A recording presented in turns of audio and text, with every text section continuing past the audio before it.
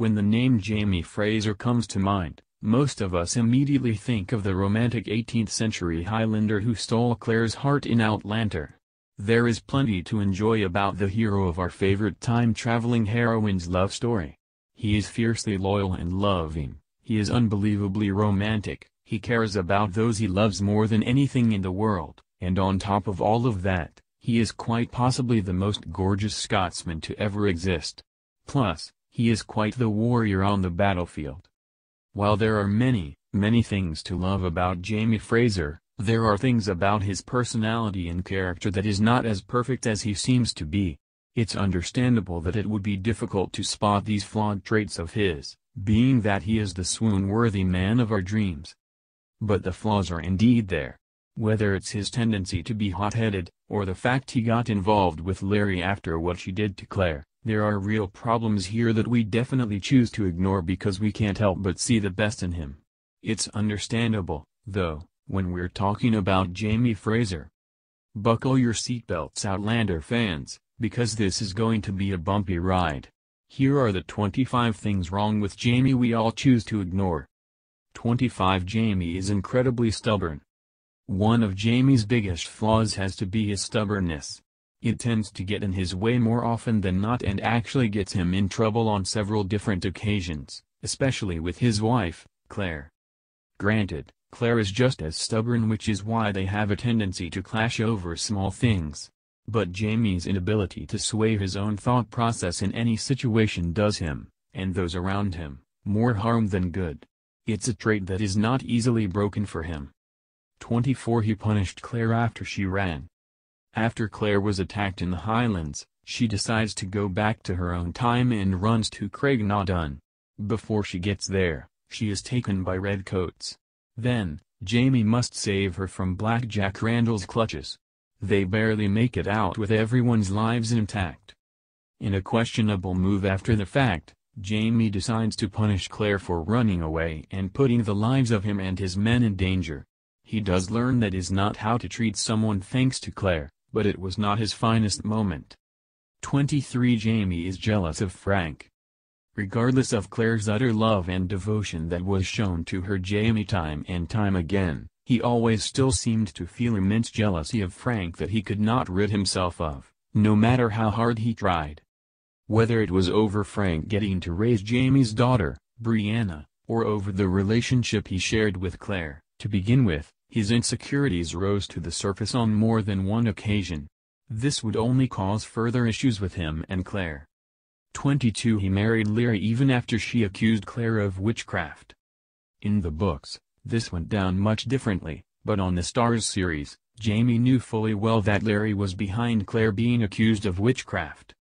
Yet, he still married her when he and Claire were apart for those two decades. At least in the books, we could say that he was in the dark about Claire and Laoghaire's past, but on the show, it was harder to ignore this grave mistake he made. Luckily, he and Claire got past it, eventually.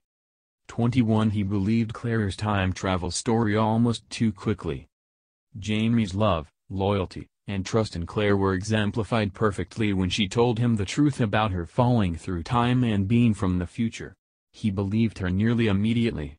And while that definitely helped their love grow stronger, it was an odd occurrence for a man from his time to be so trusting. This is especially true since the story should have been far-fetched to a logical man like Jamie. This may not be a serious flaw of his, but it was a strange turn of events. 20 He had primitive views before Claire. It makes sense that a Highlander from 18th century Scotland would have differing views about, well, literally everything went up against a modern-era war nurse who turns his world upside down. But those traditional values of Jamie's made their dynamic off-kilter at the beginning of their marriage. He felt it was his duty to punish Claire, for example, because he's her husband and his father would do the same thing. It took Claire teaching him that it doesn't need to be that way for him to change. 19 He was inexperienced before Claire. From the start of their marriage, Claire knew going into it that she was more experienced than Jamie was. He had, in fact, never been with anyone before her. This wasn't necessarily a fault of Jamie's, but it was odd how he went from being inexperienced to rather knowledgeable in that area literally overnight. Sure, Claire helped him along the way, but it's hard to ignore that impracticality of him learning so much in such a short amount of time.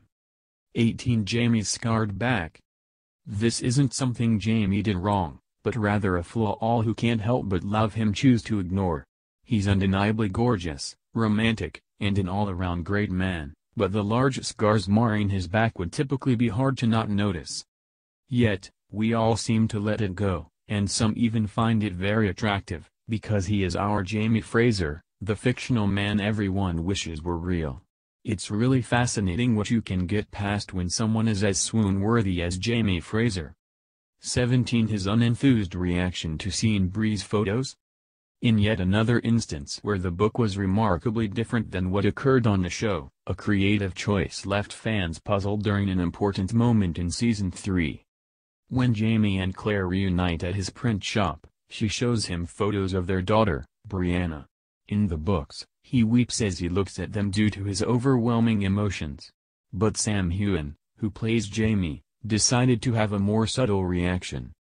This just seemed like an odd reaction from Jamie, who has always wanted to raise his daughter with Claire and never got the chance. You'd think his emotions would be all over the place upon seeing her face for the first time. 16 Did he really need to spend so much time away from Claire in Season 2?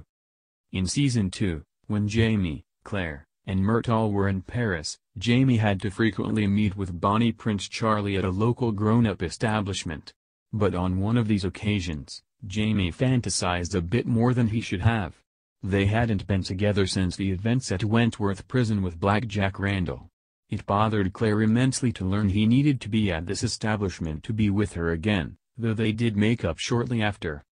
15 Jamie dueled with Black Jack Randall when Claire begged him not to. While in Paris in season 2 of Outlander, Jamie and Claire came across their nemesis, and the vilest man in the history of Outlander, Black Jack Randall. Jamie and Randall agreed to a duel, but Claire was steadfastly against it. She didn't want Randall's end to ultimately destroy the lineage of Frank's ancestral roots and inevitably make Frank cease to exist.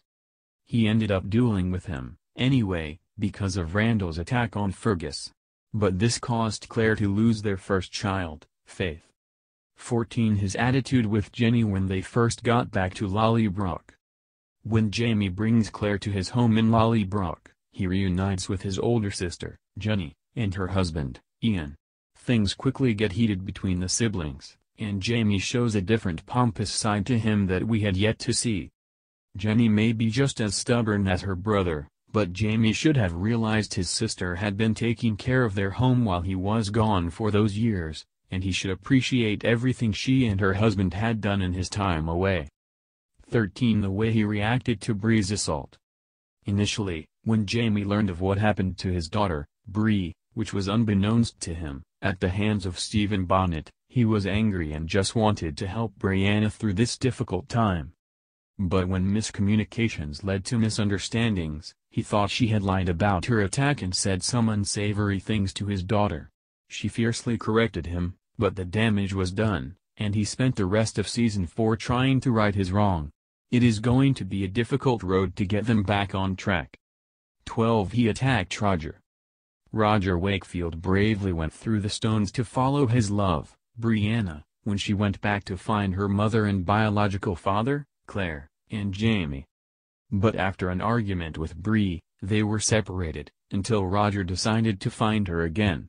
When he finally reached Fraser's Ridge, a misunderstanding with Lizzie led to Jamie thinking Roger was the one to assault Bree. He ended up attacking Roger up in a fit of rage. This only made his reunion with Brianna that much more delayed. Poor Roger hadn't even done anything wrong. 11 Staying to fight in Culloden instead of running away with Claire. One of the most dramatic and heartbreaking moments was when Jamie sent Claire back through the stones at Craigh na Dun before the Battle of Culloden. They felt they had no other options but was there really the case? He stayed to fight with his fellow Highlanders due to loyalty and seeing no way out. But why couldn't he run away with Claire and their unborn child instead?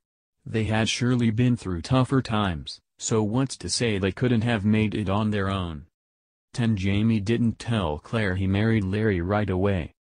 The way Claire found out that Jamie had married Laoghaire during their time apart was quite possibly the worst way she could have. His two stepchildren walked in, one calling him their father. It didn't help that she had red hair. Then Laoghaire walks in to confront her estranged husband and the woman she despises. It would have saved them a lot of turmoil if Jamie had just been upfront with Claire about what had occurred during their 20 years spent apart from each other. 9. He ended Dougal, his uncle's, life. Dougal was one of those characters that was so larger than life that he commanded each scene he was in. He also had moments where you genuinely liked him, but most of the time, he was only focused on his own agenda rather than the greater good. He was so dedicated to the Jacobite rebellion, that when he overheard Claire and Jamie plotting to end Prince Charlie to avoid the war, he attacked them both. The uncle and nephew got in a heated fight that was only going to end with one man coming out alive. That man was Jamie. While we understand he had no choice, it was a surprising moment that Jamie actually ended Dougal's life once and for all. 8. He kept the truth from his son Willie and left. In Season 3, we saw what Jamie had been up to in his time away from Claire. He was blackmailed by a woman of nobility to have a relationship with him before she entered an arranged marriage. This resulted in her pregnancy, and they had a son before she passed during childbirth. His name was Willie, but Jamie never told him that he was his father. In fact, he left when Willie was still a young boy, which greatly upset the child. At this point in the story, Willie is still unaware of who his real father is. 7. He somehow always lives lavishly no matter what. For a Scotsman who is nearly always on the run in the Highlands and doesn't have hardly anything to his name, he sure knows how to find a way to live lavishly everywhere he goes. It is not necessarily a huge flaw but is rather puzzling seeing as he doesn't have a lot of money or property himself. Whether it's in Paris, or Jamaica, or even in Fraser's Ridge, he and Claire always end up doing quite well for themselves miraculously. 6. He became a criminal in Season 3. Jamie Fraser becomes an actual criminal, Claire finds out, in Season 3 of Outlander. It turns out he's a smuggler and his illegal dealings make him a man wanted by the crown. This is a bit of a departure from the honorable man with traditional values that we know Jamie to be. But it does show that he has changed in the 20 years he and Claire were not together, yet he still loves her just as much as the day she went back through the stones. 5. He reacts negatively to Bree dressed in 20th century clothing. Sure, this may be looked at as pretty normal for a father to not want his daughter wearing a bikini like the one Bree was wearing in the photos Claire brought. But his reaction was so strong and negative, that it initially caused Claire to be taken aback and angry. He may be from the 18th century and not used to clothing such as that, but his main focus should have been seeing his daughter for the first time instead of her lack of clothing.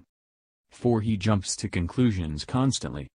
Jamie has a really bad habit of jumping to conclusions before getting all of the facts. This has gotten him in trouble on more than one occasion. One notable example is when he assumed that his sister, Jenny, had been intimate with Black Jack Randall when he and other redcoats invaded their home in Lallybroch. She was furious that he would assume such a thing, and he should have been more sensitive to the situation before jumping to such a big conclusion. 3. He didn't end Randall's life when he first had a chance. When Black Jack Randall took Claire in Season 1, he took her to Ft. William, where Jamie and the other Highlanders hatched a plan to help her escape. During Randall's terrorizing tactics he was using on Claire, Jamie came in to save the day. After a scuffle, Jamie actually had the opportunity to end Randall's life right then and there. He chose not to, which could be looked at as admirable. But it actually set off many horrible events down the line for not only Jamie but many others at the hands of Randall. 2. Jamie can be a hothead. This goes back to Jamie's inherent stubbornness and need to always be right. When this stubborn mentality of his kicks in, he can tend to be a hothead, especially if things aren't going his way. This has made he and Claire have many arguments that got out of hand. But this has also been an issue with other people he comes across, like his sister, or foes that get in his or Claire's way. It rarely works in his favor. 1. Jamie is a fantasy not a reality. The thing about Jamie is that in spite of all of his flaws, he is still an incredible man that anyone would be lucky to have in their life. He is beyond romantic, completely gorgeous, and a true hero. The only problem with all of this is he is fictional and gives women, and men, everywhere an unrealistic expectation of what a husband should be like. That's not to say we shouldn't still hold out hope for our own Jamie Fraser, but the chances of getting one are highly unlikely.